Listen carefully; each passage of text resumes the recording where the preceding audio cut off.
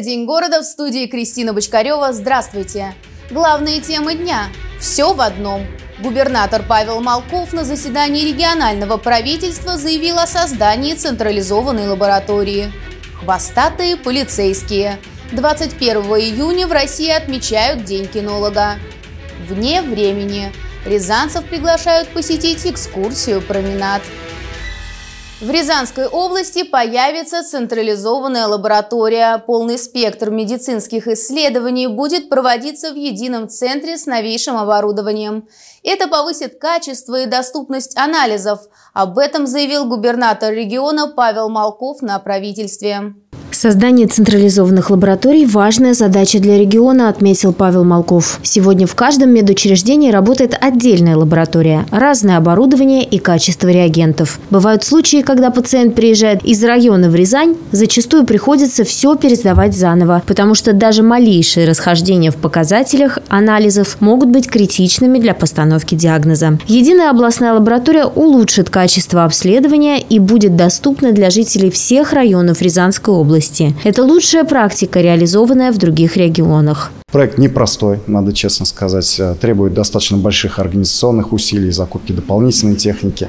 Но мы видим, что другие регионы этот путь прошли, поэтому, конечно, мы тоже его пройдем. Сейчас в проекте задействованы уже три медучреждения. В ближайшее время планируется подключить еще пять. Таким образом, постепенно на эту систему переведут все медучреждения региона. Забор материала останется на местах, а результаты исследований мгновенно поступят лечащему врачу через медицинскую информационную систему. Пациент при желании сможет получить результаты исследований в свой личный кабинет на портале госуслуг.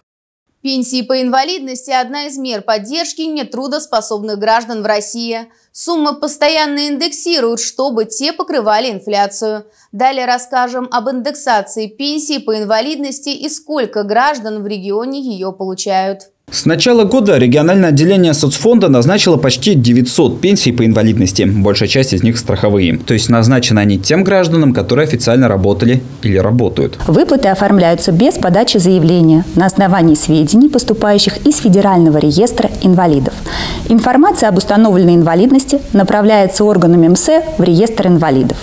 Региональное отделение СФР в течение пяти рабочих дней оформляет пенсию. Уведомление о назначенной выплате направляется гражданину в личный кабинет на портале госуслуг либо по почте. В этом году пенсии уже проиндексировали. Произошло это в апреле. Так, индексация социальных пенсий составила 7,5% в зависимости от темпов роста прожиточного минимума в стране за прошлый год. Доставка пенсий происходит тем же способом, что и ранее назначенные выплаты. Если по линии Социального фонда России раньше никаких выплат не было, гражданину необходимо выбрать способ получения пенсии – на почте или на счет в банке. Подать заявление о способе получения пенсии можно через личный кабинет на портале госуслуг, в клиентской службе отделения Социального фонда России по Рязанской области или в МФЦ. В отделении соцфонда напомнили, что пенсия по инвалидности назначается автоматически и добавили, что по всем вопросам можно обращаться в единый контактный центр. 21 июня в России отмечают День кинолога. Дата приурочена к созданию первого питомника полицейских сыскных собак – на его базе была создана школа дрессировщиков. Произошло это событие в 1909 году, 21 июня. Валерий Седов узнал, как проходит служба сейчас. Это настоящий ветеран кинологической службы. Речь идет не о сотруднике в форме, а о его четвероногом друге. Зовут собаку Тора, ей 11 лет. Специализация – поиск взрывчатых веществ.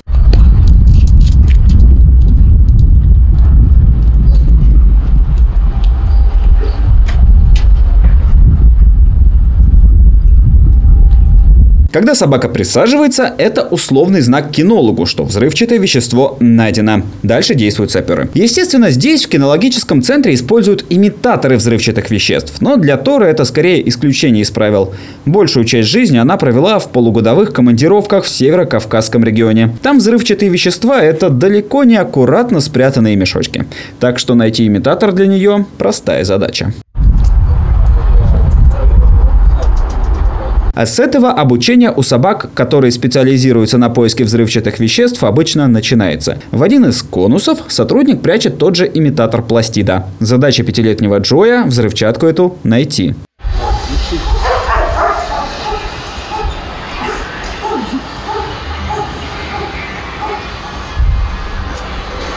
Центре кинологической службы у нас более 20 собак находится. Помимо наших собак еще находятся собаки конвойной службы и патрульно-постовой службы. Только вместе порядком это, ну, может, чуть меньше 50. У нас три направления. Это общеразыскной профиль, собака, которая ходит по следу на задержание, э, обыск местности, и собака по наркотическим веществам – и собаки по взрывчатым веществам. А это Терра, ей 4 года. Ее специализация – поиск наркотических средств. Эта комната – имитация обычной квартиры. Задача – найти спрятанный мешочек с имитатором героина. Ищи.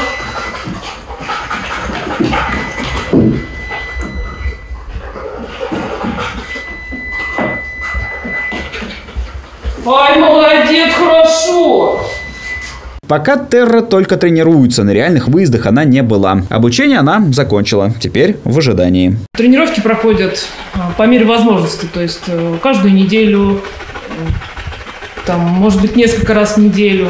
Все в зависимости от времени. А вот самая насыщенная часть. Собаки, специализация у которых поиск. По легенде, ищет она сбежавшего преступника, да еще и вооруженного.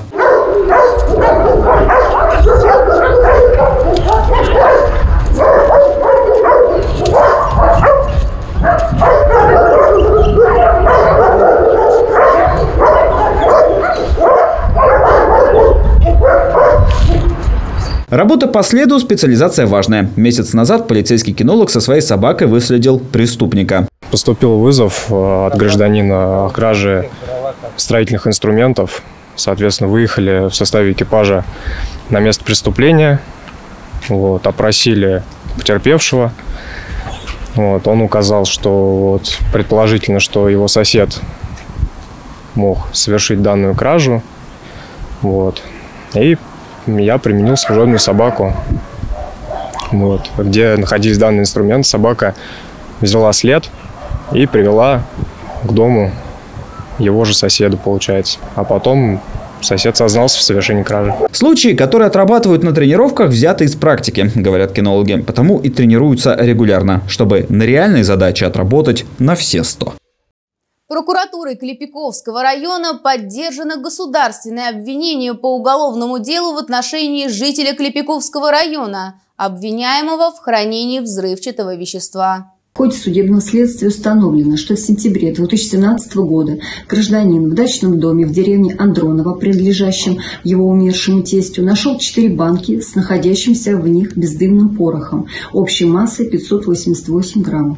В этот же момент у гражданина, не имеющего разрешения на хранение и ношение огнестрельного гладкоствольного оружия, а также боеприпасов к нему, возник преступный умысел, направленный на незаконное хранение бездымного пороха.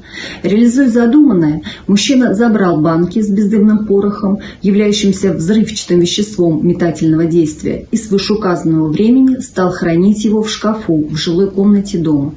До того момента, когда его незаконные действия 18 декабря 2023 года были пресечены сотрудниками полиции. Приговором суда гражданин признан виновным в совершении преступления, предусмотренного частью 1 статьи 222.1 Уголовного кодекса Российской Федерации Ему назначено наказание с лишением свободы сроком 4 года условно, со штрафом в размере 20 тысяч рублей и испытательным сроком 1 год. Приговор не обжаловался и вступил в законную силу.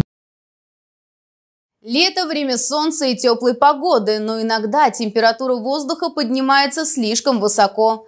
Так, по сообщению МЧС, местами ожидается жара до плюс 30 градусов. Чем опасны высокие градусы и как облегчить свое состояние, смотрите далее. Тепловой удар – одно из самых тяжелых последствий нахождения на жаре. Так говорят врачи. Это происходит потому, что в жару человек больше потеет и организм теряет влагу. Из-за этого нарушается работа сердечно-сосудистой системы и скачет артериальное давление. При долгом пребывании на жаре могут возникать головные боли, головокружение, тошнота и общая слабость человека. При тепловом или солнечном ударе нужно как можно скорее увести человека с солнца, желательно в прохладное и хорошо проветриваемое помещение. А, по возможности освободить человека от одежды, дать побольше выпить жидкости. Также можно использовать холодные компрессы, например, смоченные водой полотенца, чтобы снизить температуру тела. Ну, при серьезных очень ситуациях вызвать скорую медицинскую помощь. Ольга Бодрова добавила, что дома в жару тоже тяжело и дала несколько советов, как облегчить ситуацию. Для этого нужно окна заклеивать светоотражающей фольгой, дополнительно закрывать их шторами. Также стоит проветривать комнаты, но только вечером, и не забывать делать влажную уборку. Если говорить о том, как спастись на улице, то стоит увеличить количество потребляемой жидкости до 2,5-3 литров в сутки, а, использовать в одежде натуральные ткани, желательно светлых оттенков, пользоваться головными уборами, и также важно пользоваться солнцезащитными очками и солнцезащитным кремом. Лето – это маленькая жизнь. Начинается пора отпусков, можно гулять и проводить время с друзьями. Но при этом не нужно забывать о своем организме. Для поддержания его в тонусе достаточно пить больше воды, носить светлую одежду и головные уборы. Анастасия Арт, Михаил Лазуткин, телекомпания «Город». Устроить променад сквозь века и побывать в прошлом вполне реально – Рязанский театр драмы расширил формат своих постановок и перенес место действия на улице областного центра. «Тайны города Эр» – это уникальный проект с полным погружением. Подробнее расскажем в нашем следующем материале. А, вас удивляет, что я говорю «артом не шевелю»? Ну так я же скоморох. И очень хорошо умею чревовещать.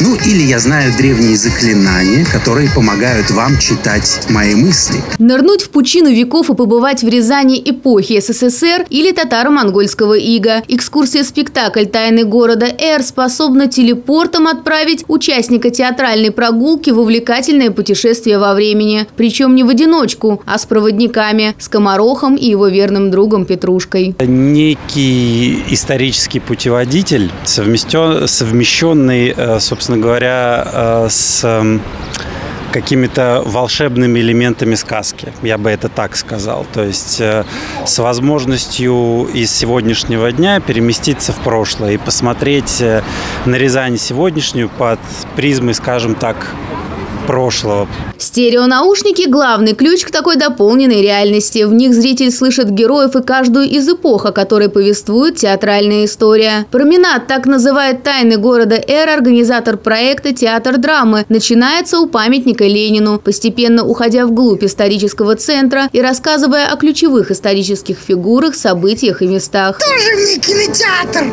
То ли дело, когда мы с тобой на аватар заморский захаживали. Вот где чудеса. А тут, ай, позабыл, комнатушка тесная, простыня на всю стену висит.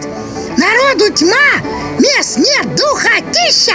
Хорошо, хоть женщин в этих ужасных широкополых шляпах не пускали.